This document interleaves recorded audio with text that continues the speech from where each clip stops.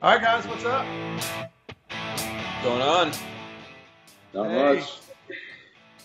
We got uh, we got John here from Team MSO, and we've got Gabby here as well for Adventure Talk this week. Gabby, where are you at, man?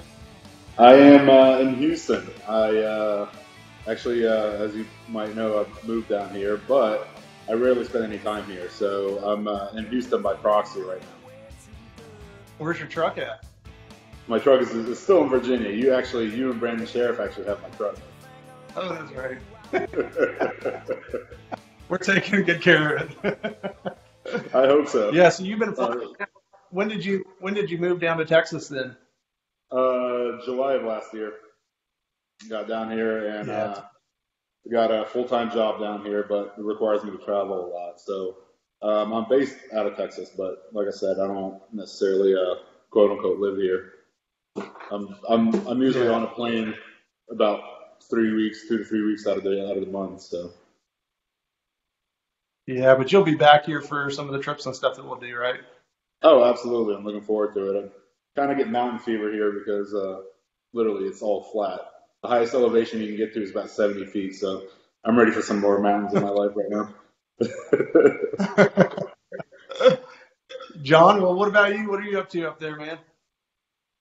Uh, you know, just uh, doing the same same sort of stuff. You know, shooting, making photographs, and uh, got a little side project going on that we're getting off the ground here. Uh, soon soon to be announced here in the next uh, couple weeks. We're uh, uh, cat's out of the bag, but we're um, know, we're setting up shop here and uh, just west of Boston, uh, building adventure rigs. Um, partnering up with a good buddy of mine who owns a Toyota dealership, and uh, you know, we're building we're building trucks. Is that one of them there behind you then, or what? Yeah, it may be. yeah, so behind us we got our our 2019 uh, company rig, and that's um, brand new Tacoma TRD, and we're getting it all you know kitted up, and we've uh, we partnered up with um, you know some top top notch com- companies, uh, ARB, um, Alucab, you know ComeUp Winch to say a few, and uh, you know we're we're putting together a pretty um, you know stellar group of uh, companies to work with, and we're going to build some awesome trucks up here. When are you looking forward to getting that started? Uh, next couple weeks, guys, it's going live. Like two, three weeks, we're going to be officially live. Um, I've already started building some uh, customer trucks here, just word of mouth, so which is pretty exciting. Got a, uh 2019 Tacoma um, full build going on right now with a customer. Um, started a 2017 200 series. Started the uh, suspension and uh, bumpers, uh, drivetrain upgrades, doing some um, gearing and whatnot. So. Uh, and then we got a 4Runner that's uh, next up in the queue. So we got some got some cool stuff going on. nice. Awesome. Yeah, well, Yeah. we're looking forward to that. So I guess you'll do kind of a kind of a push through social media and maybe emails and stuff like that to launch your website and stuff, or what? You got it. Yeah. So we're live on Instagram right now. Um, it's uh, Roko Vehicles, R O K O, um, and then our website goes live uh, in about two weeks. So That was your dog's name, that. wasn't it? Rocco? Yeah, so it's it's kind of an interesting story. So my my business partner also had a German Shepherd who passed away about the same time that my my dog passed away, and uh, my dog's name was Rocco, which is R O C C O, and my Mhm. business partner's uh, Chinese, and his uh, his uh, dog was Coco K O K O. So the name is actually a combination gotcha. of Rocco and Coco. So we kind of Okay. came up with a cool yeah, and we kind of, you know, we're kind of vibing off the whole like German Shepherd, big, you know, family dog, very family oriented, loyal, you know, rugged, hardy, you know, looking Nice. for adventure. So, yeah, so that's where the whole name came from, which I'm pretty excited about. Oh, yeah, uh, New England's New England's hungry for some uh, for some companies to build some trucks up there. I think. Yeah, man. Yeah, cool. Um, well, yeah, it was funny. Last week we were talking and speculating about where Overland Expo East was going to be. Um, we filmed that on Monday night, released this first pilot adventure talk on on Wednesday, and they they released uh, the location of that. And Overland Expo East is coming to Virginia. Yeah, so I heard. That's pretty exciting. Yeah, it's going to be kind of interesting to have this close to home. I think Gabby's going to have to fly back from Texas for that. Maybe I'm not too Yeah, I sure. was like, I was like, that's you know, that's great for you because you only get to drive two hours. I still have to fly. You're just Yeah, it's your all drive just man. they're 12 hours. uh, yeah, I'll I'll make it up there for sure. Yeah, it's, Yeah, I it's think a pretty. lot of- It's Go ahead. no, that's exciting. I mean, even for even for the Boston or like the New England people, like you just cut down the drive down to you know Expo by what five hours, so that makes it doable in one day. So that's great. I think that was smart.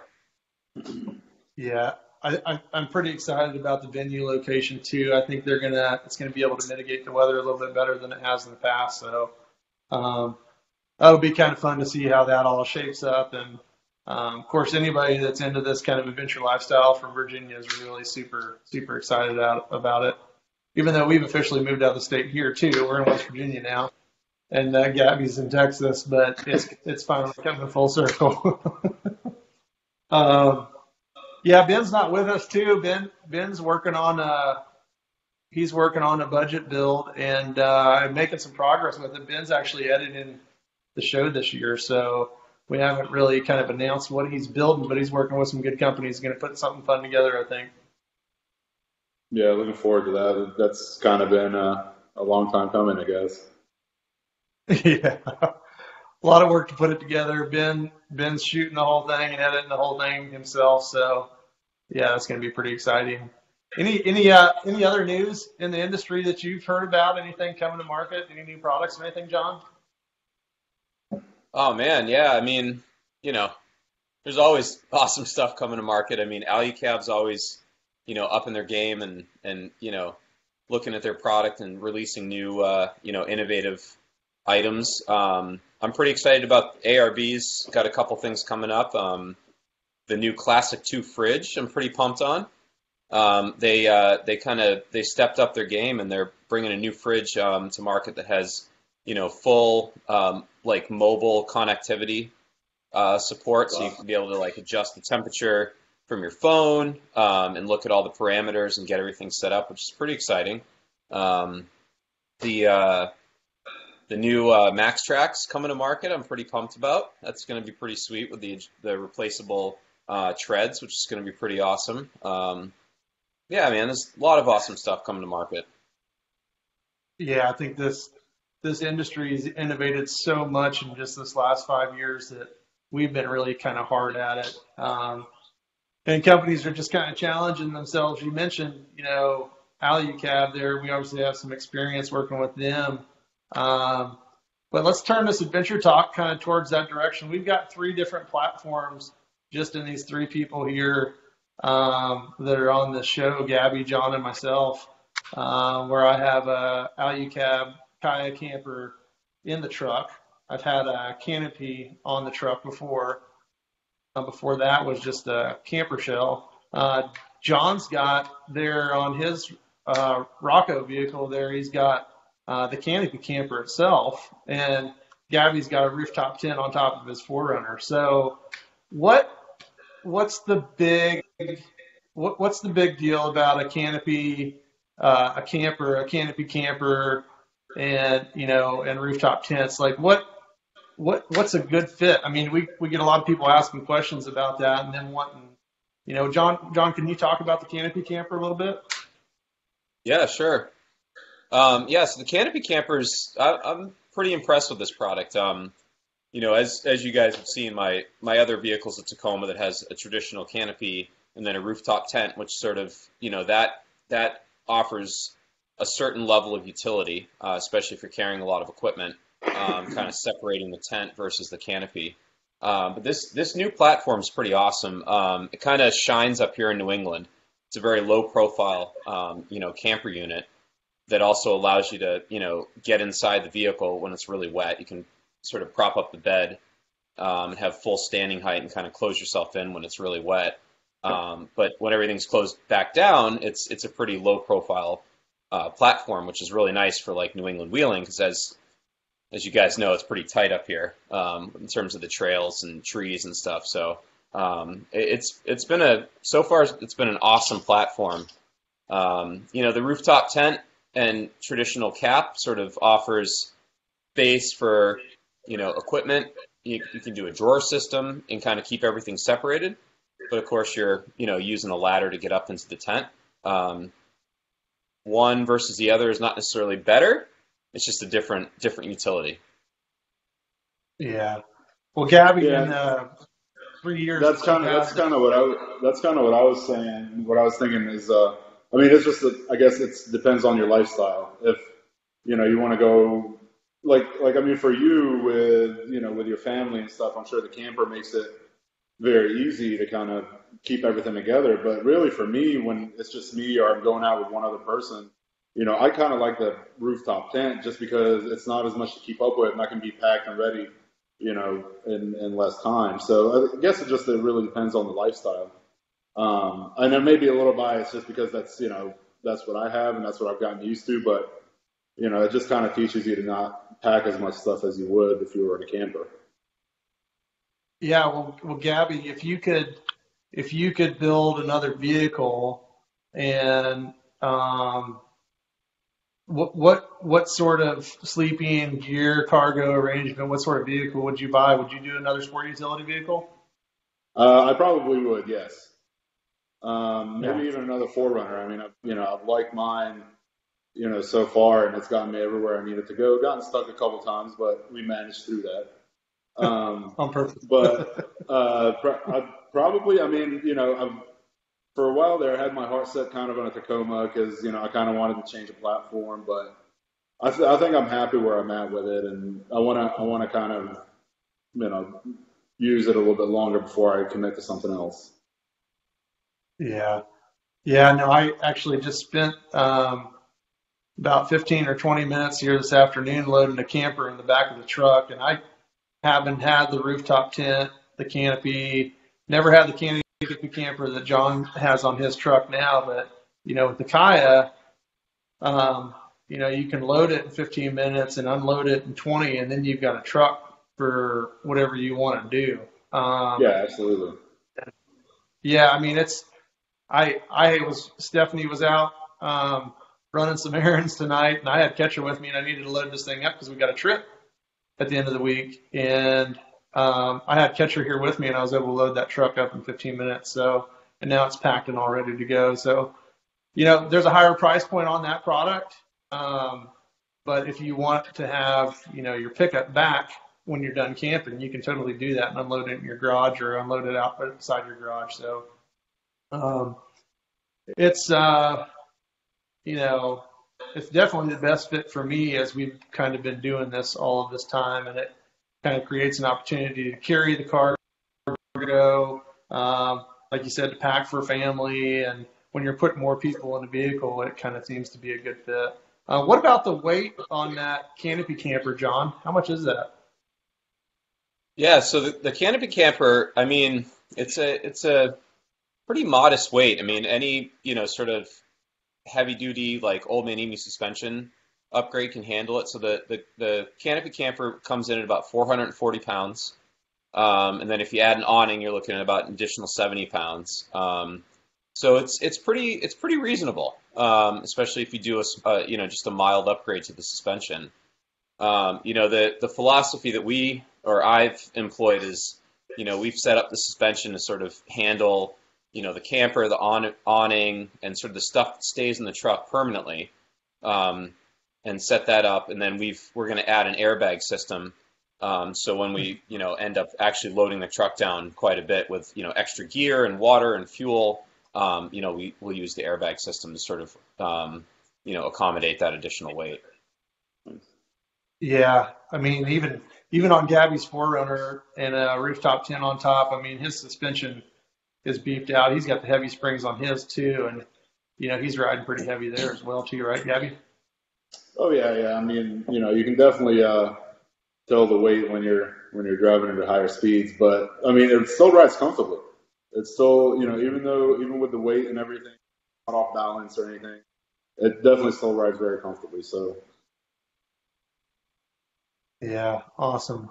Well, yeah, like you said, there's some there's some good products out there. Um, I wanted to kind of talk about the canopies, rooftop tents, and campers briefly, just to kind of get people um, part of that discussion. So if you guys got comments, leave them below, and maybe we can revisit that in the next version of Adventure Talk here, either with Gabby and John or Ben and, or any of the other guests that we have. We can revisit that topic. But um, a lot of the things that we talked about are available through uh, John's new company there coming to market soon, um, and OK four wheel drive. So um, yeah, all good stuff.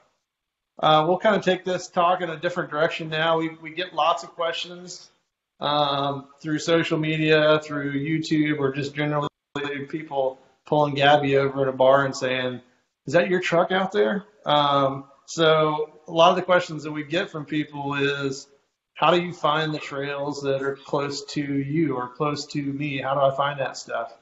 John, do you got uh, do you got an answer for that? Yeah, for sure. I mean, up in uh, you know, I can speak to sort of the Northeast and New England um, mostly. It's a, you know, I've spent a lot of time exploring here.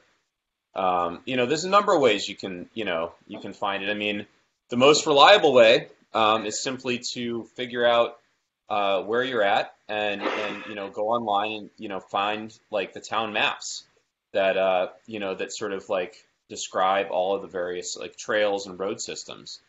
Um, you know, the DeLorme, like the old school paper DeLorme, you know, atlases are still a great uh, utility, uh, especially in New England. They seem to be updated, you know, fairly frequently. Up here in New England, we kind of freaked out a little bit when Garmin um, bought DeLorme because we were afraid they were going to get rid of the paper maps. But uh, Garmin found uh, that you know the maps, like this traditional like you know DeLorme maps, were still very, very, very valuable. So they they kept them, which has been great. So we can kind of you know still use those. Um, and also like you know hooking up with local um, organizations and even using a guide service. I mean you know in new england uh, as you guys know i'm pretty tied in tight with peter um, from vermont overland. So um, there's a lot of events such as the vermont overland rally that you can sort of attend and get access to a lot of like trail maps describing or not even trails they're all roads but just road maps describing like different you know areas to access and you know difficulties and whatnot.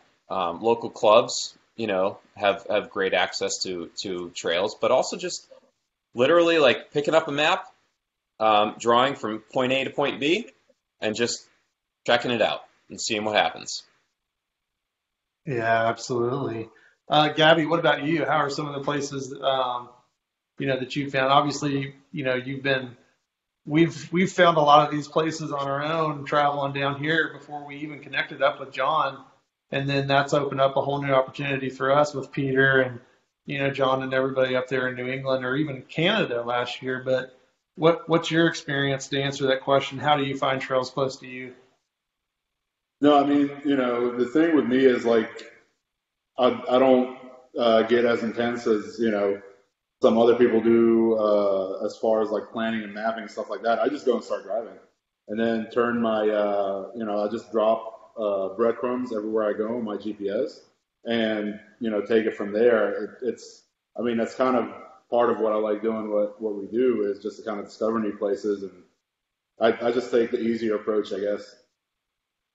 Yeah, yeah. I mean, I honestly, from both of your answers down to mine, I mean, it's a for me, it's kind of you know the best of those both worlds. Um, the the value that I can find in um, exploring these roads on my own and discovering some dirt track or four wheel drive um, surface is, is it's hard to it's hard to explain to people how valuable that is to find that on your own um, and experience that as opposed to just hopping on a set of GPS tracks and going and driving something else somebody's somebody else has done. You know, um, a lot of the places that we've been, we've we've found through people and you know growing up in these areas. Um, but the biggest thing that I can kind of comment to is just collaborating with people that are you know in the industry.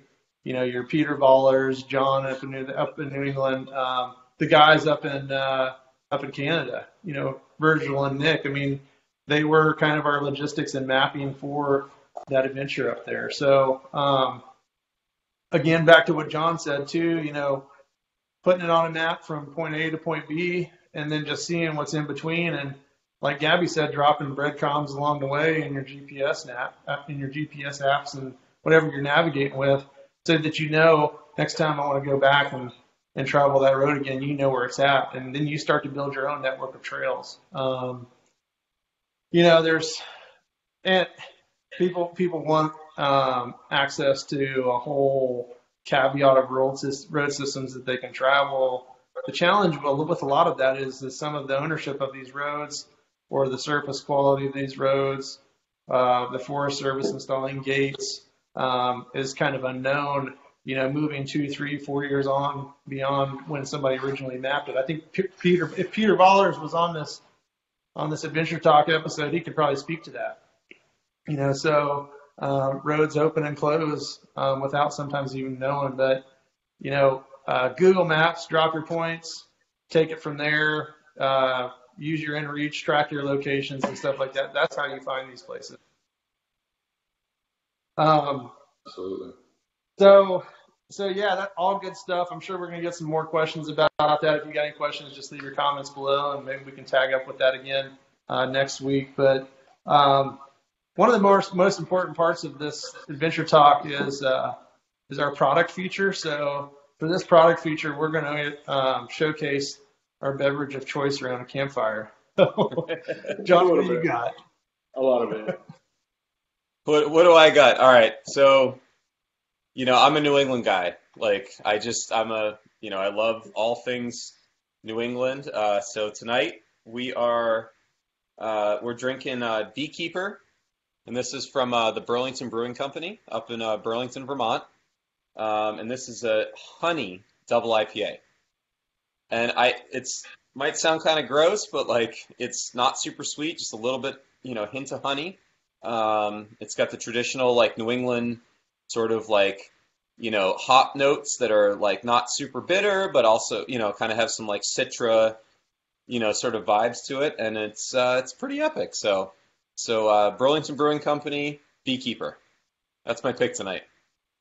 Well, thank thank you for not showing a heady topper. A heady topper is a fantastic beverage, but it's refreshing somebody from New England not showing a heady topper. yeah, well, you know, I mean, let's you know, let's face it, Heady Topper's not that's an incredible product, but uh, you know, Vermont, especially Vermont, whatever it is, something going on in Vermont where there's like a beer scene that's just like none other. But uh, yeah, I mean, Alchemist does amazing beers, but uh, there's a lot more going on in that state than uh, than just like the sort of more known stuff. So yeah, Hill awesome. Farmstead, man. I, I'm yeah, go back there. well, it's it's a it's a mess at Hill Farmstead. I mean, you get there. I think some of the people that went to um, Vermont Overland Rally when we were there last time, they they purposely got there early to go to Hill Farmstead, and there was like a two hour wait just to get in there to get a beer or something crazy. Uh, to, to get oh, yeah, like a growler filled or something, yeah. Yeah, oh, Hill yeah. Farmstead's a mecca. Yeah, in fact, I saw on, I think on on Vollers' uh, stories on Instagram, he was just there. I think. Yeah, yeah. Uh, they the the whole gravel grinding like bike racing, you know, uh, season starts up in Vermont, and um, yeah, he was up there doing the the Muddy Onion, which is a really cool race that I was sad I couldn't be at this weekend. But uh, he and uh, Ansel Dickey, who does the all of his social media stuff, did like a whole beer tour. Started up there and like kind of wound their their way down. They went to Bent Hill, which um, you know is another great brewery, and kind of hit all the the the, the microbreweries they call them. So yeah. A lot going on there. All right, Gabby, you're up. What do you got, man? I actually opted uh, for some Basil Hayden's this evening instead of beer. so, drinking Kentucky straight bourbon whiskey, which I have been since like four o'clock. My you time. manage it pretty well. Well, good. I hope so. I hope so. But it's good. Cheers. Cheers. All right. Well, I've got a beer with me that I haven't had yet. I've been drinking another one. I won't tell you what that is, but um, this is Deschutes, kind of like the Deschutes the brewery, but this is a new, um, a new American Pilsner that they have. And, uh, I haven't had one yet. I'm going to pop it open and tell you if it's really worth it.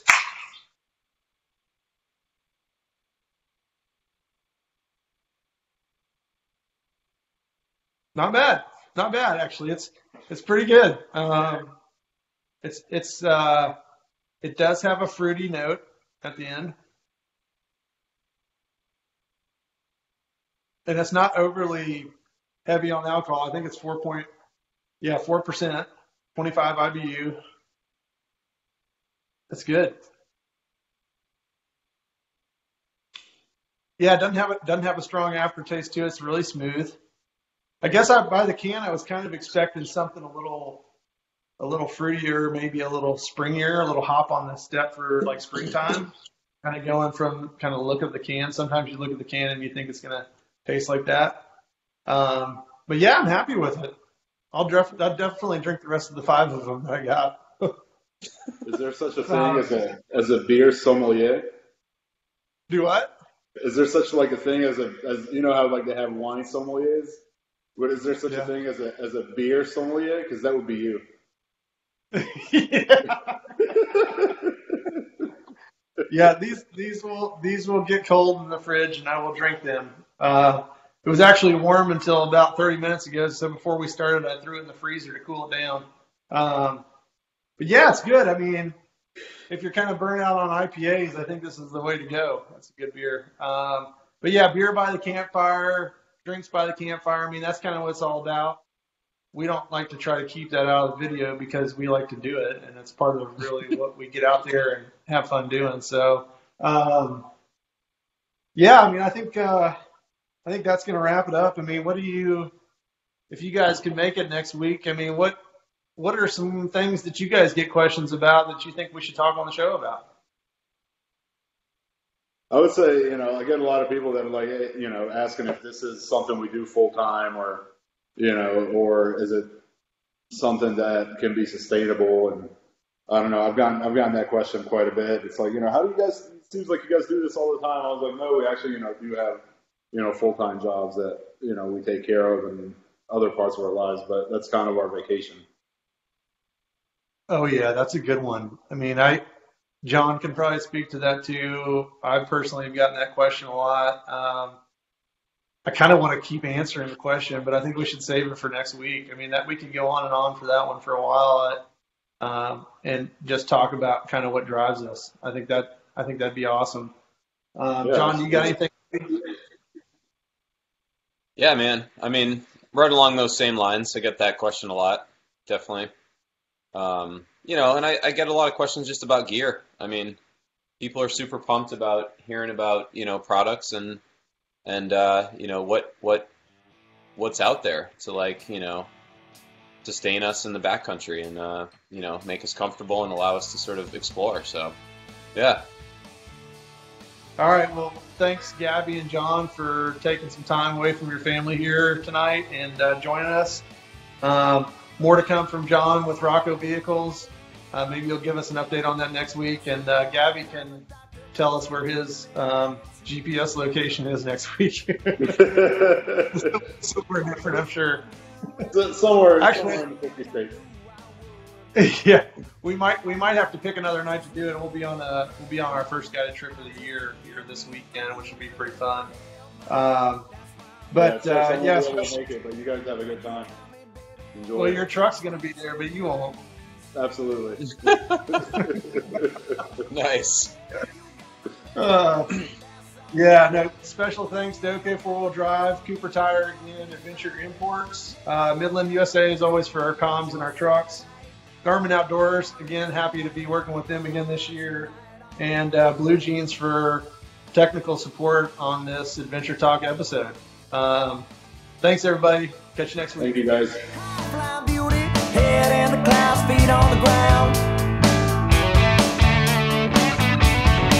But I ain't complaining and I damn sure ain't too proud. I'll just to say I need some help, mama.